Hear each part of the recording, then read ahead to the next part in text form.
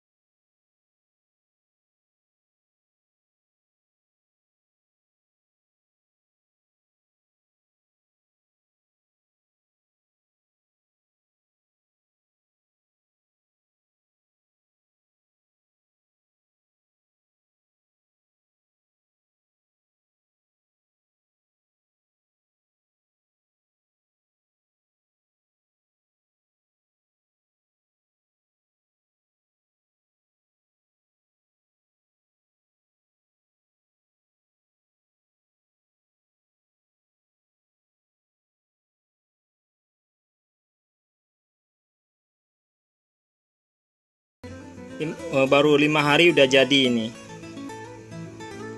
Lumayan banyak sih. Satu akuarium penuh ini. Ini satu akuarium penuh. Kelihatan nggak? Nih saya agak dekatin ya. Nah ini dia kayak kabut ya. Ini namanya infusoria. Yang belum pernah lihat infusoria ini infusoria ya. Ini untuk burayak cupang yang burayak cupang yang tiga hari yang dua hari udah bisa makan ini. Burayak gapi satu hari udah bisa makan ini. Burai-burai yang kecil-kecil pokoknya ya. Semuanya udah bisa makan ini. Hmm. ini satu akuarium penuh nih. Saya pindah posisi.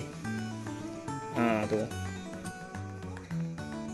Hmm, ini baru saya angkat makanya dia berhamburan ya.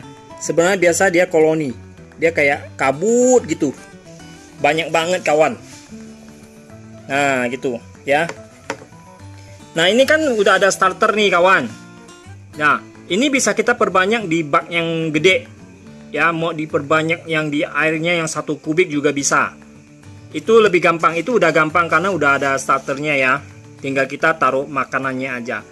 Nah ini taruh di bak bak yang gede. Kasih air bekas ikan.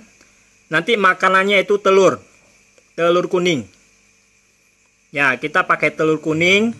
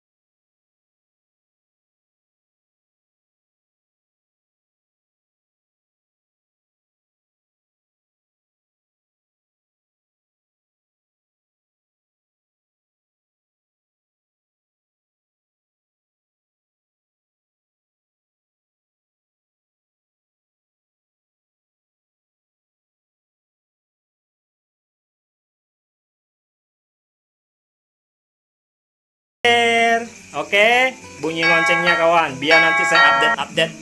Oh iya, setelah ini, setelah video ini saya mau update cara mengundang nyamuk bertelur. Kita panen telur nyamuk kawan, oke? Jangan lupa ya, you sub me, I sub you. Kita sub-suban. Bye-bye.